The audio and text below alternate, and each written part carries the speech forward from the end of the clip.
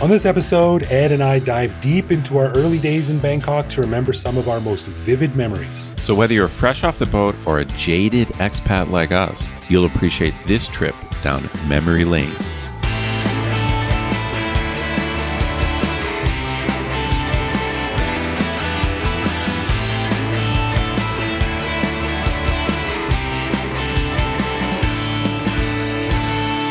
Sawadee Krap, and welcome to the Bangkok Podcast. My name is Greg Jorgensen, a Canadian who came to Thailand in 2001 because the Flaming Hosers motorcycle gang out of Moose Jaw, Saskatchewan, put a bounty on my head of 400 beaver pelts, and I had to get out of there. Man, those beaver pelts are hard to come up with.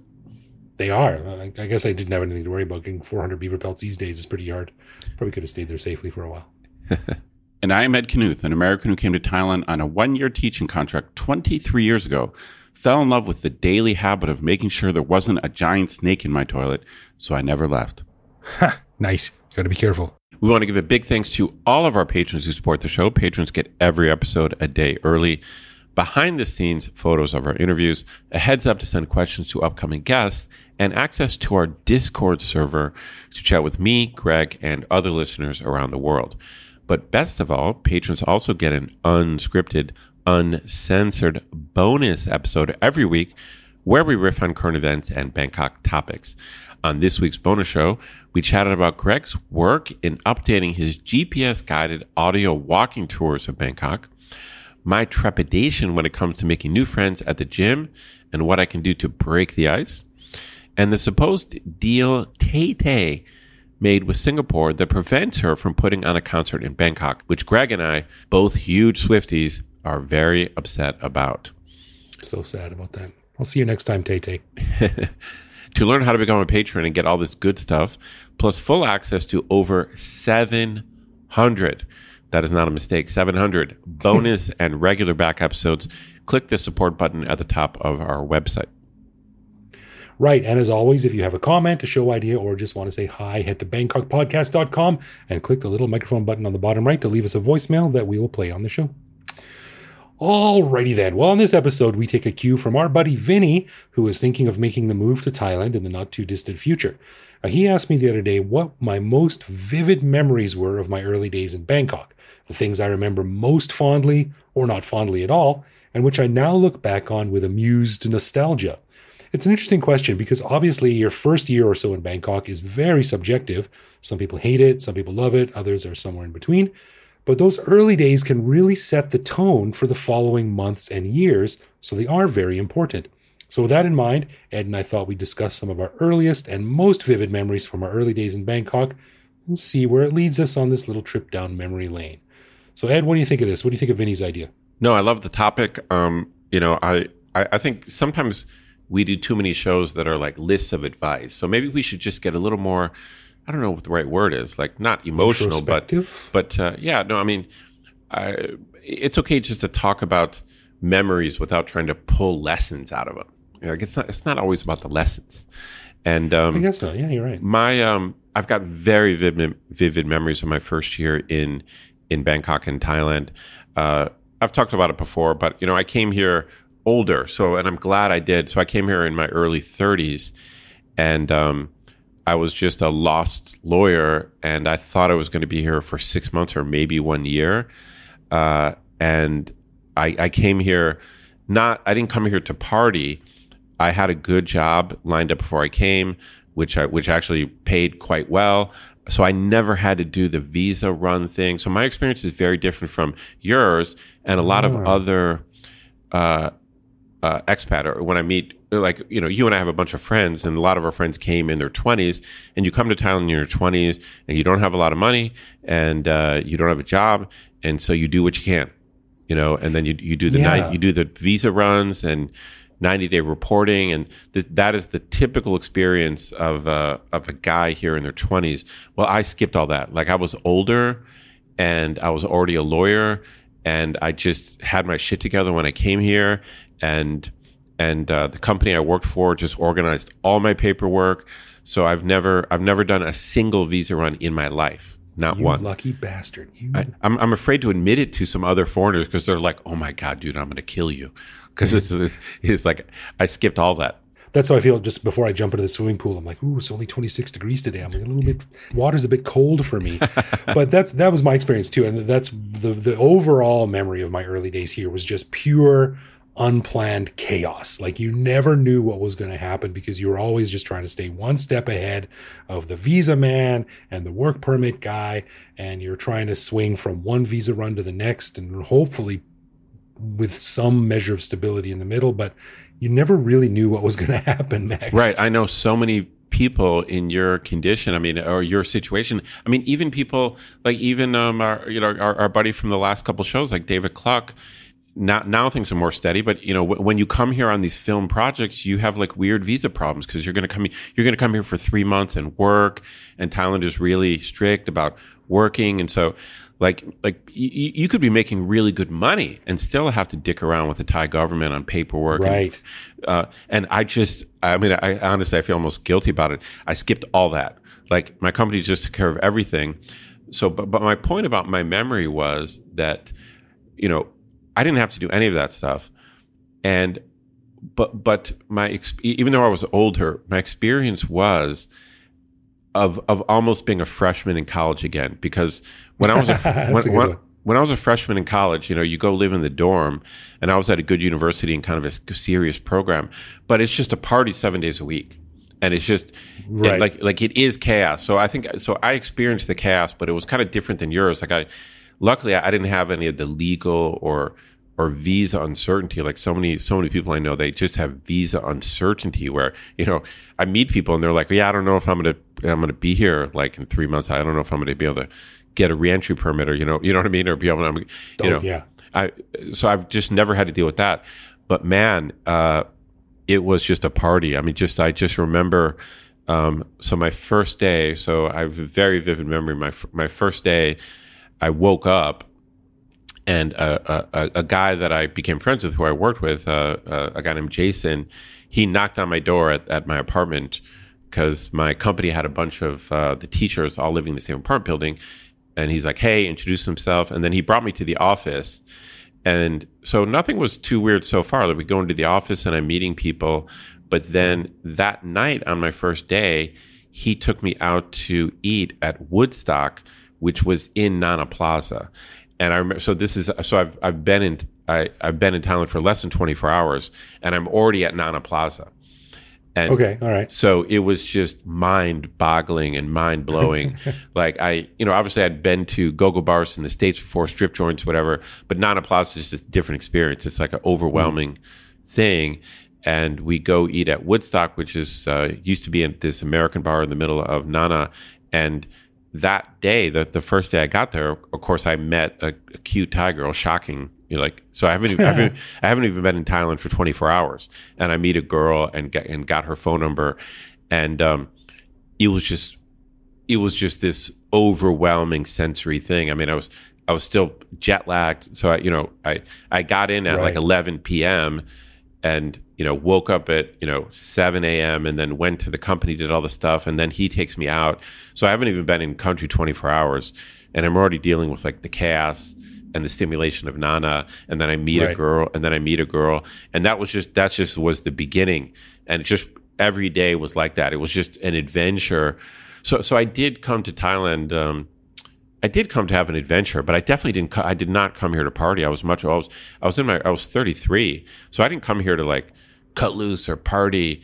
It wasn't Right. like that. It wasn't like that at all. I came here because I was taking a break from being a lawyer, and I wanted to get some more world experience because I was very untraveled, like a lot of Americans. Like I traveled mm-hmm. within the U.S., but I never left the U.S. before I came to Thailand. So I Oh, was, me neither. I I'd never been out of Canada except as a kid when I w- when I lived in Australia, Yeah. but I'd never been out of Canada before Thailand. So I did come here to like you know, it, have an adventure, but I did not come here to party. Uh, Right. But then it did turn into that, where it, so it was it was this it was it was wild, it was crazy. Uh, just I- it felt like being a freshman in college again, where there it was just there was something to do every night, like just some some bar or some person was having a party, house parties. Uh, it was pretty crazy. Yeah. Uh, and so, so but I but I but I liked it, you know. So at first I was a little bit worried about it, like oh hey I'm too old for this, you know. But then I just got sucked in, man, and I just I just I just went with it. I just I Yeah. just went with it. Yeah, I miss those old house parties because you know house parties are not a thing in Thai culture, and I remember this very vividly. My uh, an ex ex ex ex girlfriend a long time ago, and one of my guilty pleasures is that movie Can't Hardly Wait. It's one of those cheesy screwball teen Uh, comedies from uh. from the mid two thousands, and uh, it's, I, I think it's so funny.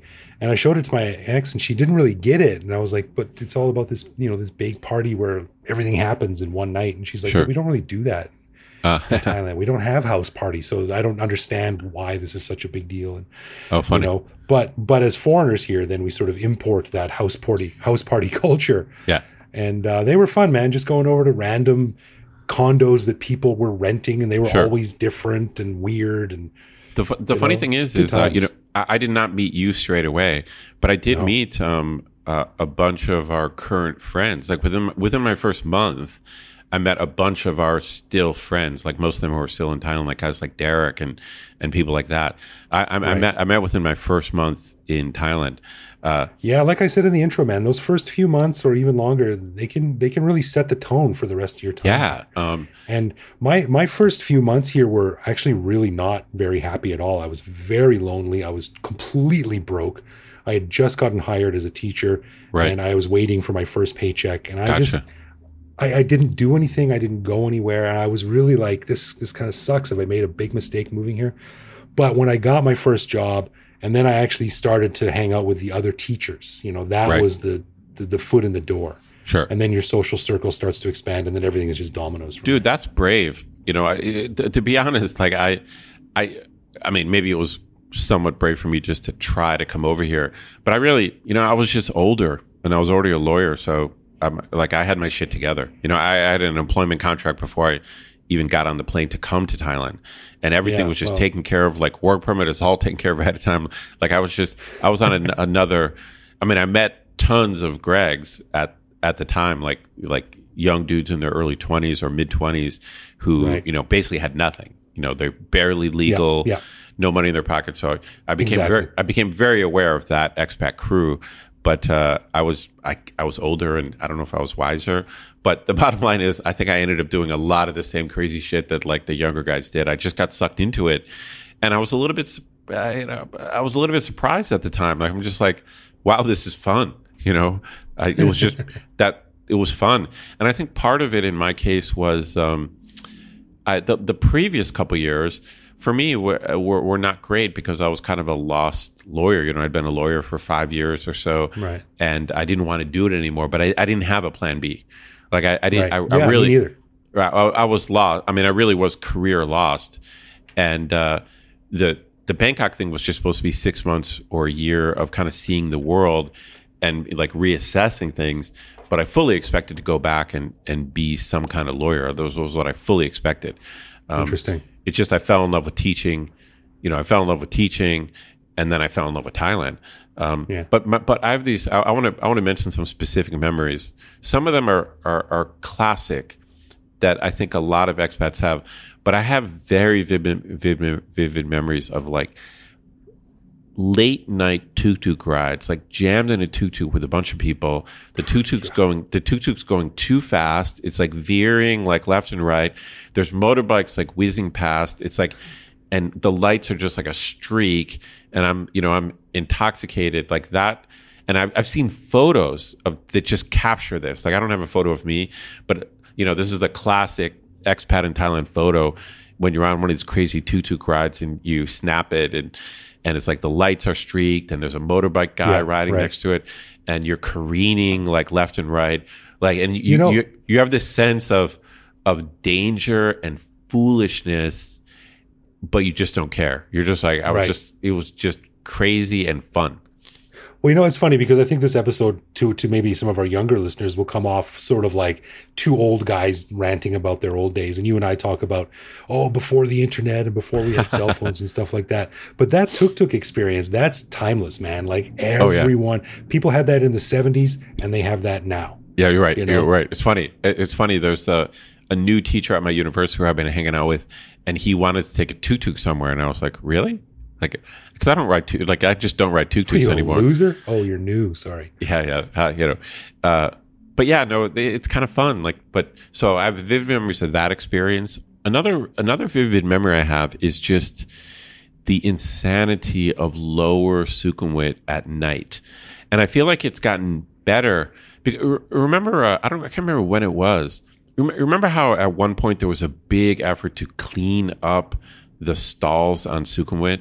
Now there's much more walking space than there used to be. Um, yeah, right. Like 20 years ago, Sukhumvit, there there was no regulation, so you could like the the sidewalks were just full of stalls. So Yeah. it, it was almost like bars set up on card tables and that's right. Bars on card chairs and tables and and and so it was almost guaranteed to be jammed with people because there was like a, a, a single practical single or maybe double file line. And so Yeah. any any time after really 8 p.m., like 8 p.m. till 4 a.m., Sukhumvit was chaos, man.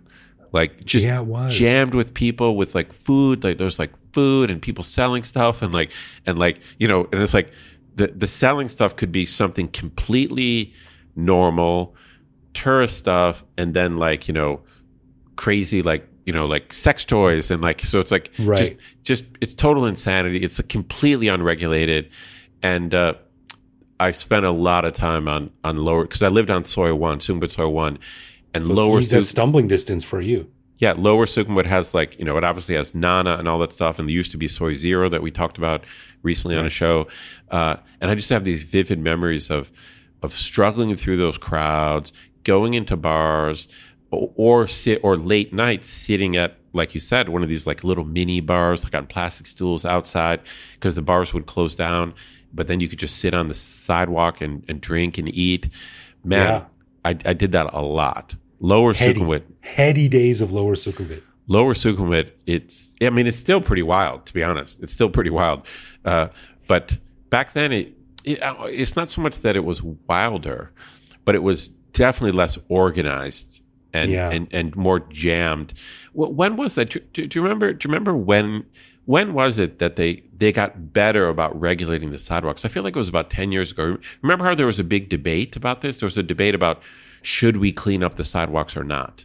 Yeah, because they thought like that'll take away some of the, the, the That's right. chaotic charm of Bangkok that That's people right. come here for. That's right. You know, but there is a fine line between chaotic charm and then Night- taking nightmare. 15 minutes to walk 100 meters because it's you can't step anywhere because the sidewalks are so crowded with people. That's how it was. Yeah, it was. Uh, yeah, lower Sukhumvit was. Uh, yeah, it was inefficient. would be a good way to describe it. Uh, very good way to describe it. But, But it- and- I, I prefer it now. But am I just being old? Like, am I just sort of like, well, now the sense of order is nice. yeah, no, I, I definitely prefer it now. But I, I remember just having to wrestle with that. Um, and in a way, it's um, you know my, another vivid memory I have is just various markets. I I don't know what it is. I I- I feel like in the states, uh, I, the the only analog to like the Thai market that I can think of where I grew up is something like a like a county fair or or I don't know. I just just like the Thai market. So obviously Chatuchak. So I went to Chatuchak my first few months here, Yeah. and and, and Chatuchak is in a way it is like Lower Sukhumvit, but it's more like it's it's like 2 p.m. in the afternoon and it's it's 115 degrees Fahrenheit, you know, and you're crowded. I haven't been there in years. you know. Um, but e- even things like uh, Suan Lum Night Bazaar, just just the the colors, the the smells of Thai markets. That's another thing that I just didn't get in the states. Obviously, I know it exists in the states, but it just wasn't part of my suburban life. Like the like basically something like JJ. I know it. I know stuff like that does exist in the states, but I I, I didn't I didn't spend a lot of time there or don't remember that. So to me, that was a very Thai thing. Like the markets, Yeah, I agree. Yeah, the markets yeah. are a Thai thing. Like Suan Lum was more organized than JJ, um, but it was still kind of that rows and rows and rows of this kind of shop and that kind of shop, and with no rhyme or reason to any of it. You know, trinkets and clothes and I do miss those. yeah. Some of it is Yeah. touristy, and then of course like a food court, the outdoor food courts, the beer. I remember my first uh, December when they started setting up the beer gardens. Oh, uh, yeah. at, at at Central World. Um, yeah. uh, and so yeah, a lot of memories of like sitting around drinking a lot of beer with like those, those beer towers. Yeah, sure. no kidding. You know, my a lot of my first early memories sort of solidified around the community that came from the apartment that I was living in. And this is an apartment that I didn't choose. I was put there by my first job when I showed up and they, you know, while I was waiting for my first paycheck, they said, "Oh, we put all of our teachers in this apartment. We'll pay the first month and then you pay us back when you get paid," you know. Oh. And it was it was Union Tower on Petbury Road, which is just across from where Thong Lo ends. It meets Petbury. Okay, no, I remember. I, I I went to that place. Yeah, yeah, yeah, Yeah. You, yeah. You and I knew each other way back then. Yeah. Um, we we called it Union Palace because it was the only thing we could do to spruce it up a bit. But it was a weird place. I remember my my apartment cost six thousand baht a month. It was a living room and a bedroom with a little tiny balcony, and uh, it was all, all you know. For our patrons, we'll put some photos in here of, of some of these early days, these early tuk tuk rides, and I'll put a photo of my my apartment in there. And I'm telling you right now, don't make fun of my my sassy girl poster that I had on my wall. It is a classic Korean movie, and I love it. But um, it just never occurred to me that I could move out of this crappy little condo that I had. And I just I stayed there for way too long. I was there for like 4 years. Oh, really? And it was a, it was a weird out of the way building. It was inconvenient, it was run down and old. Uh did have a swimming pool on the roof, which was nice. But I just stayed there and I never really considered like, hey, I can move somewhere. But the people that were also there with me, we formed like this proto community and uh, those you know those friends you make they really help you through your early days like the, like i mentioned the coworkers but there's also the people you meet in your condo as well I do actually remember movie posters on your wall, but I don't remember what the movie posters were. yeah i had one of moulin rouge as well also an early favorite i didn't have a lot of uh, options for decorating my wall but you did know you also now, have? I Uh, don't am, know. am I going crazy? Am I going crazy? But did you have? Did you have like Star Wars characters or some kind of like? I can't remember. You had some other type of trinket or some movie things, right? tons of movie trinkets and stuff yeah all over the place Yeah, yeah. Yeah, it was a bizarre place. But you know, now I don't know if you've seen this, Ed, because you spend a lot of time on YouTube. But on YouTube, there's tons of videos where this guy, I don't know who they are, these guys are interviewing people in Bangkok, and they're all like, "How much did you pay for your condo? Can you give us a tour of the facilities in your condo?" And man, things have gone upscale in Bangkok because these places are nothing like the crappy old rooms that we used to live in. Oh, really? These guys Yeah. are like fully kitted out, beautiful new condos. Oh Of course, they're shit! paying Yeah. a lot more than six thousand baht a month. But anyway, those early days, man, those condos can can set the tone. Yeah, I mean, I think that uh, the thing about, um, you know, let's say, so you you were in kind of dire straits, right? But what you find out I wouldn't call you, them dire straits, but I just didn't really understand that I that living paycheck to paycheck with five dollars in my bank account at the end of the month was not cool. Well, no, like, my, whatever. my- no, my point was going to be that, you know, when you're in a situation like that, the simple truth is there's always other people in that situation. So no matter how like so you, you you as long as you're reasonably outgoing and you make connections you kind of feel normal like it doesn't matter that much it, that that you don't have money in the bank or you're Right, aware of it else. yeah you're aware of it but you're not hanging out with people with like tons of money you're Right. kind of you're around people in the same situation as you so it's it's it's it's life still seems good dude i, I gotta mention this because uh, I, I do remember that in my first year living on sukhumvit i it was hard for me to get my head around like the bar girl scene on on sukhumvit like it definitely was a thing that fr- freaked me out and i found very bizarre. And just like i told you on my first day i was in nana plaza going to go-go bars. And i remember my buddy who i was there was trying to explain to me what was going on you know and Uh-huh. he's t- t- explaining to me like what a bar fine is and all this stuff. And i just couldn't pro i just could not process it. Like, you, you know you know what i mean? It's like e- even though i knew what you know thailand had a certain reputation it's just i was i just wasn't prepared for it. And i remember my first few months i spent a lot of time trying to figure out figure out what was going on. And and i remember uh, well luckily just to clarify i actually the, the girl that i met the first day i arrived i dated her for a couple months.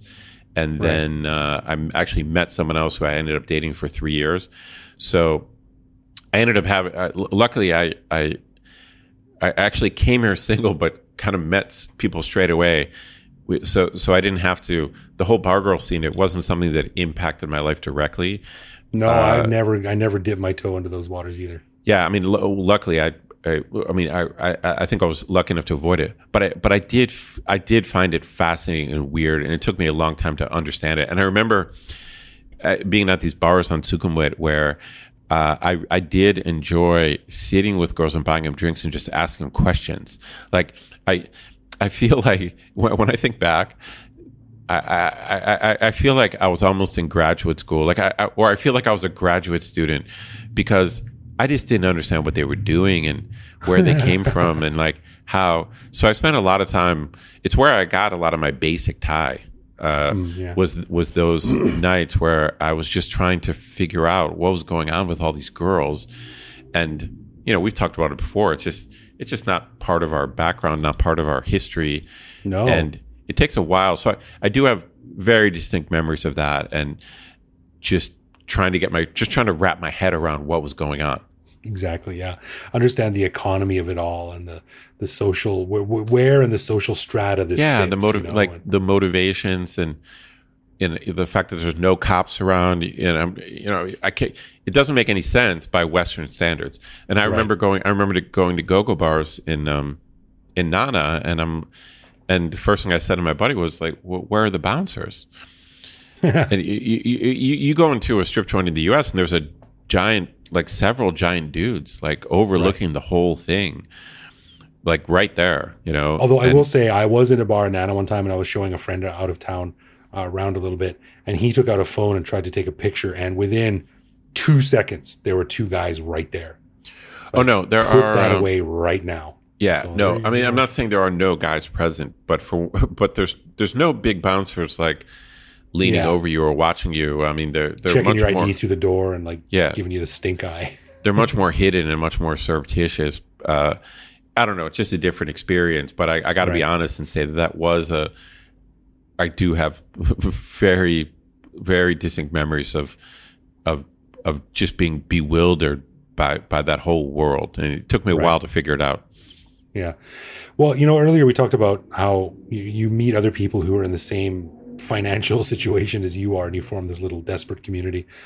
But I have a really, really vivid memory of of this when I strayed outside those boundaries, and I may have mentioned this on the show at some point in the, in the years past, but I randomly met this dude named VP.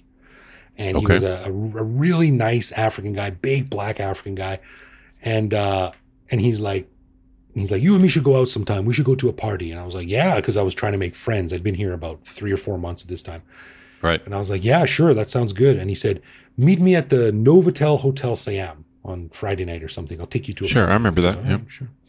And uh, so I showed up at Novotel. I'm wearing like, you know, my my Columbia uh, sandals, my my backpacker sandals, and my sun faded backpacker shorts and a t-shirt, which is all the only clothes I had at the time, except my teaching clothes. And uh, so I met him there, and he was wearing. I remember he was wearing a bright red and black pinstripe suit. Oh shit! Like, and, and he had like big, big black rimmed glasses on. He looked like a pimp, like a like a superstar pimp, right? Oh wow, that's like, so let's, funny. Let's let's go. So we've got a taxi. I don't even know where we went. Man, I wish and, I had a picture of you two. you you two must you two must have been quite quite a pair. Chalk and cheese, as the Brits say. Um, but I don't know where we went, but we went to someone he knew, and they worked for the UN. Oh, and we went we went to a house party, and it was a backyard party. Oh, okay. And I'm not gonna. I'm, I, it's the main show, so I can't use the, uh, the the expletives we normally use in the in the bonus show. But the people I met that night who worked for the UN were the biggest bunch of pricks I have I have ever met in my life, and this is 22 years ago, and I I still am bitter about it. They were just the worst people. They were the most arrogant, uptight, stuck up, entitled dipshits that I have ever met in my life. And it really left a bad taste in my mouth for NGO workers. Oh, wild. Now, I, I know a lot of people who work for for NGOs and the UN, and they're lovely, and a lot of them are my friends. So obviously, this is not a blanket statement.